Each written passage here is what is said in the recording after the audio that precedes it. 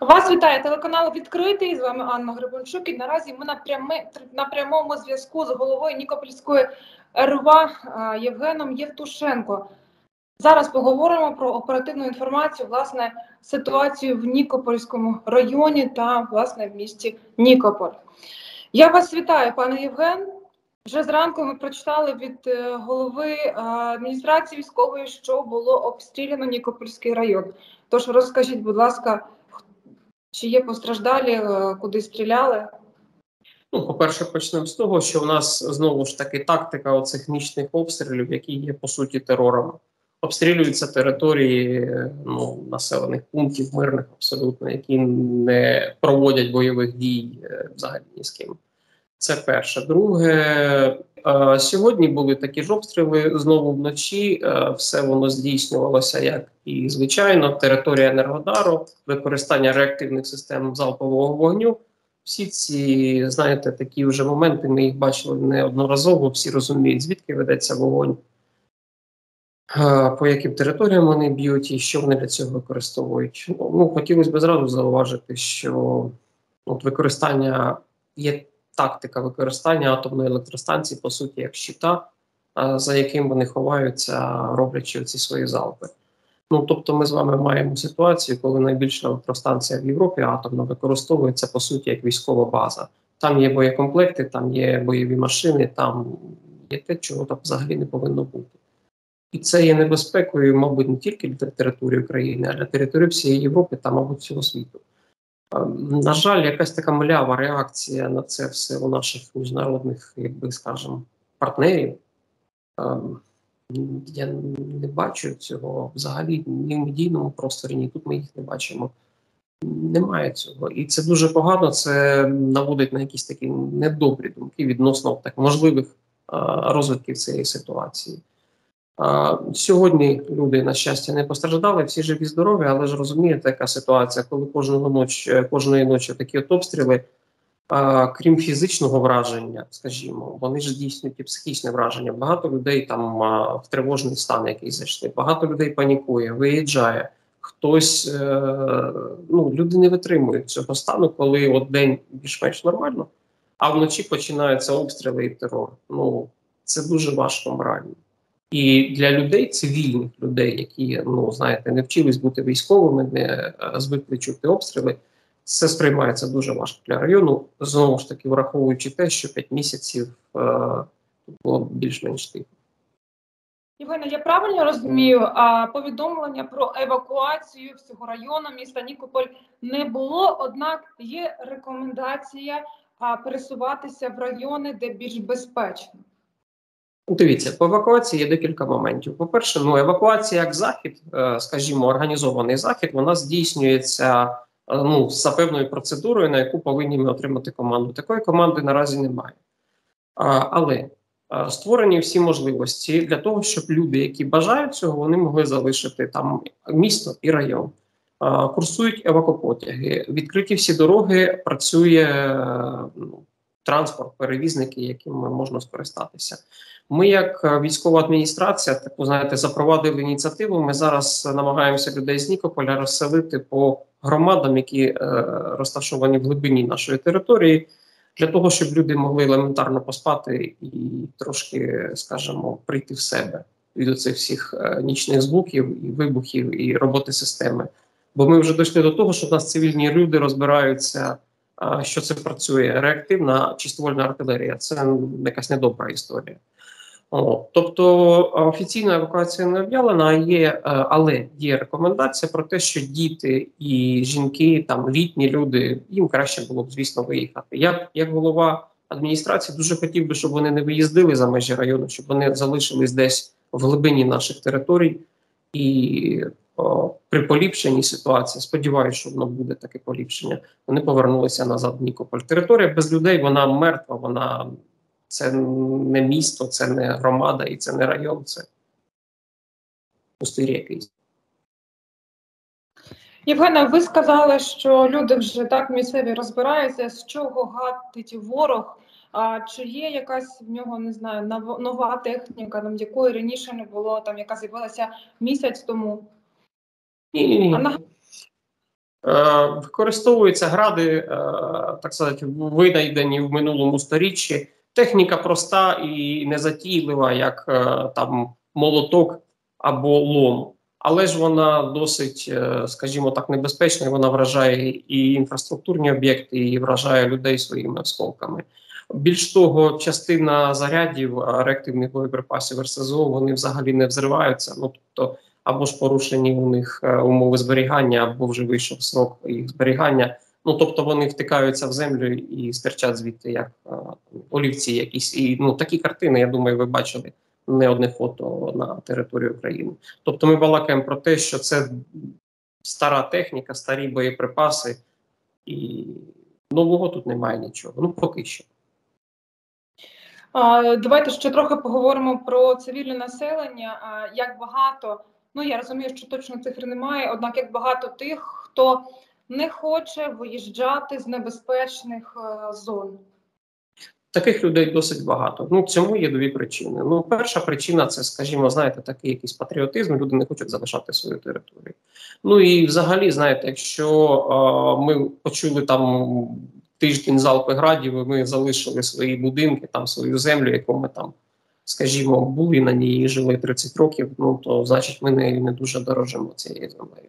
Багато людей залишилися, і є ще друга причина. Ну знаєте, тут все таки своє житло, свої стіни, і тут е, комфортніше, чим десь, скажімо, за кордоном або в інших областях України. Е, люди гостинні, е, наших людей допомагають і розміщають, але ж такого комфорту, як вдома, немає. Євгене, е, чи маєте статистику, скільки людей постраждало за минулий тиждень, або ж за кілька тижнів, або ж за місяць? Ну, дивіться, є дуже сумна статистика. А, З початку обстрілів, з початку цього загострення, ми маємо 5 загиблих.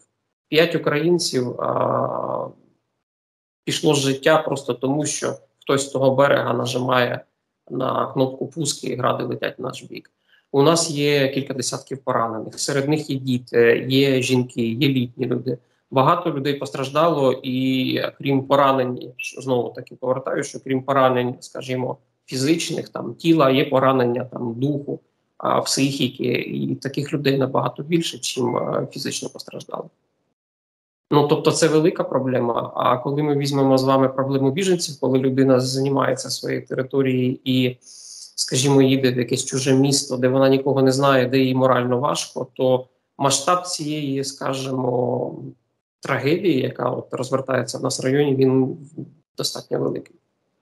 Як багато людей все ж евакуювалося?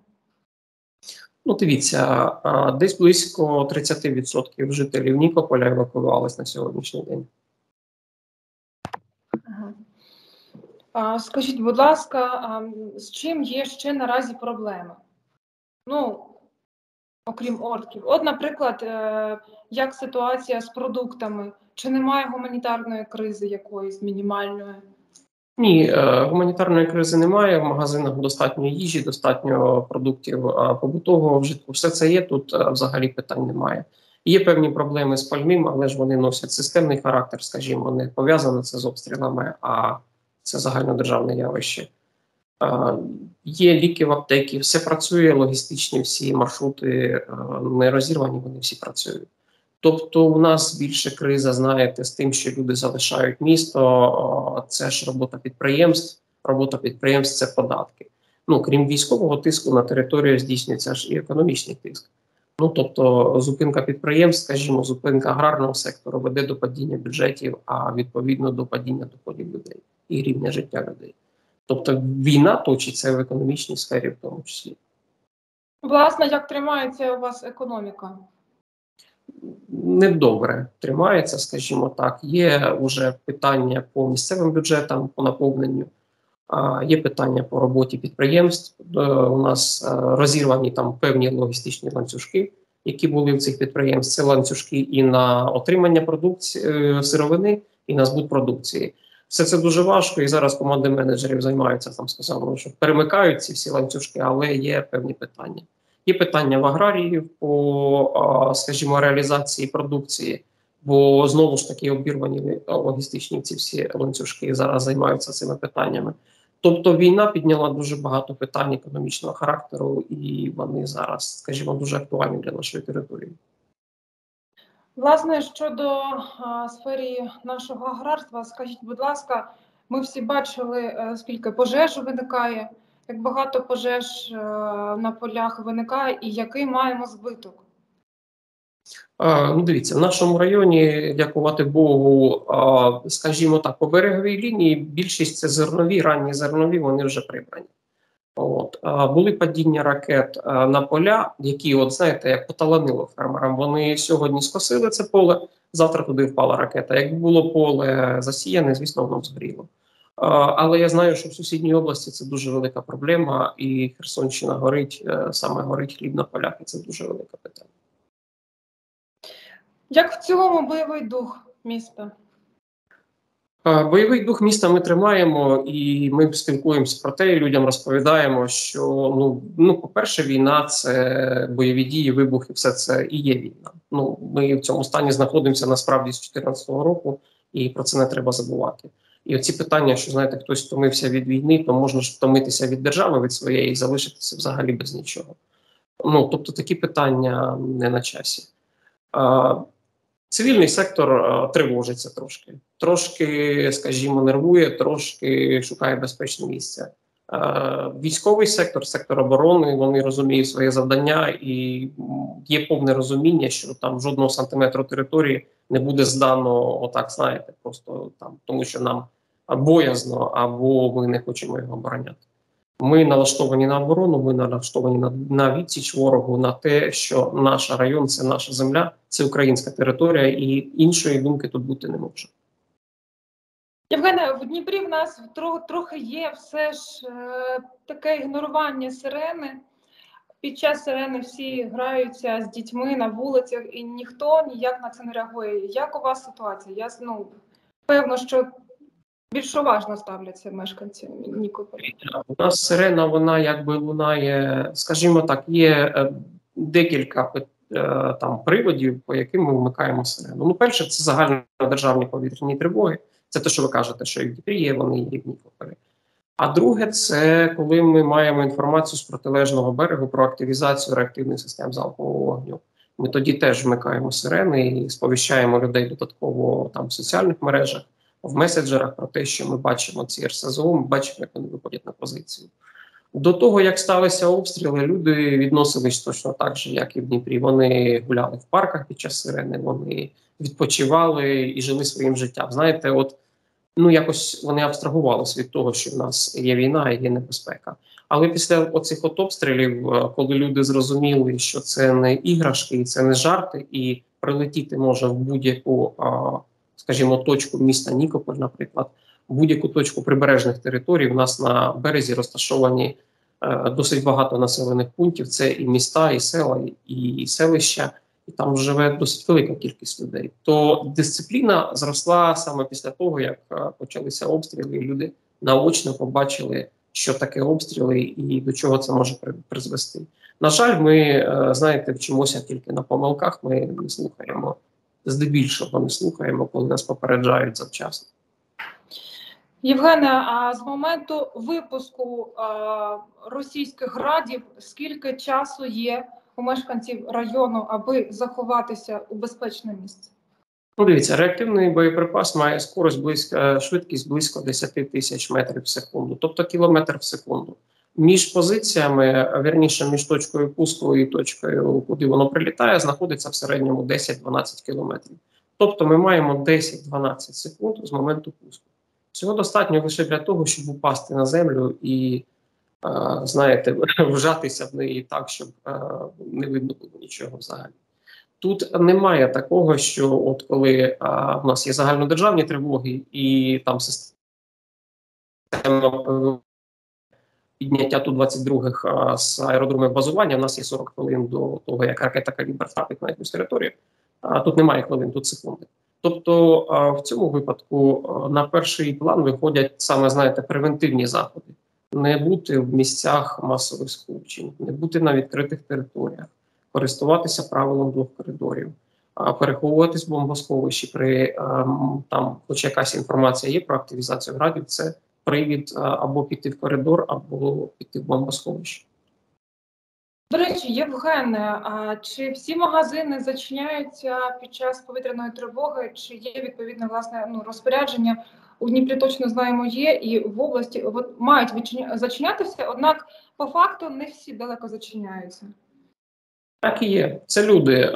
Це люди, такі ж самі люди, які сидять в парках повітряної тривоги, такі ж самі люди володіють магазинами, і е, одні не рахують за потрібне е, піти з парку, інші не рахують за, за потрібне закривати магазин. Ми працюємо з великими мережами і намагаємося, ну знаєте, хоча б зробити, хоча б щоб великі мережі не працювали під час повітряної тривоги е, і, скажімо, не наражали людей на небезпеку. Скажіть, будь ласка, як допомагають волонтери? Про волонтерський рух потужний. Дуже потужний. А волонтерський рух е, ну на ньому тримається, скажімо, багато питань і тероборони, багато питань і забезпечення біженців, і, скажімо, забезпечення взагалі території. З перших днів волонтери це придбані тепловізори, придбані бронежилети. Це історії, коли там, скажімо, там е, якийсь там населений пункт або місто за день збирає кошти для того, щоб придбати машину в ЗСУ. Це багато добрих і світлих історій, коли от волонтери об'єдналися і реально працюють на оборону країни і допомагають. Ну тобто, скажімо так, от там є такі чутливі питання, там як квадрокоптери, тобто тепловізійні приціли. Ну їх дуже важко отримати в ЗСУ, але наші волонтери дуже ефективно закривають ці питання. Окремо вони працюють в цивільному секторі, тобто допомога переміщеним особам. У нас близько 15 тисяч було переселенців на момент початку обстрілів, і десь близько 50% з них прийняло на себе саме місто Нікополь. І от забезпечення цих людей, окрім місцевої влади, здійснювали ще і наші волонтери, і це було дуже добре. Е, Скажімо, вони закривали багато питань. Євгена, скажіть, будь ласка, чи багато спостерігаєте в районі наразі міжнародних е, організацій волонтерських та е, засобів масової інформації, журналістів саме з-за кордону? Е, Міжнародні організації працюють. Ну товариство Червоного Христа, наприклад, дуже активне міжнародне. Є інші міжнародні волонтерські організації. Ну ми, як РВА, намагаємося співпрацювати з будь-якими організаціями, скажімо. То ми задоволені волонтерським рухом і присутністю, скажімо, на нашій території і українських, і міжнародних організацій. Щодо журналістів, так вони приїздять сюди, але знаєте, от мене інколи складається враження, що вони приїздять сюди. Ми би ми з ними спілкуємось, і ми би хотіли донести ну основний посил про те, що це ну, по-перше, це ніяка не спецоперація, це ну повномасштабна війна з бойовими діями, з втратами, з обстрілами, з терором. А, друге, ми б хотіли їм показати оцю ж атомну електростанцію, щоб вони своїми очима її побачили, і донести до своїх читачів, до своїх е, парламентів і президентів про те, що це дуже небезпечна ситуація для Європи в цілому, не тільки в очах деяких журналістів. Я бачу, знаєте, більше, мабуть, побутової цікавості, чим завдання сформувати якусь суспільну думку і донести до своїх читачів, до своєї аудиторії саме небезпеку. Ну тобто, знаєте, це цікава ситуація, яку вони вивчають, описують. Такої тривоги, скажімо, і ем, перестороги, як у нас ну немає в цих очах, і це трошки засмучує. Євгене, я вам дуже дякую за спілкування. Ми з вами тримайтеся. Бойовий дух, перш за все, Україна точно переможе. Ми сподіваємося, що все ж це скоро закінчиться, і мешканці Нікопольського району будуть нарешті у безпеці і не будуть за 7 секунд забігати власне у сховище. Я нагадую, ми спілкувалися з Євгеном Євтушенко, головою Нікопольської районної військової адміністрації про оперативну ситуацію у Нікополі та районі. Все буде. Дякую вам.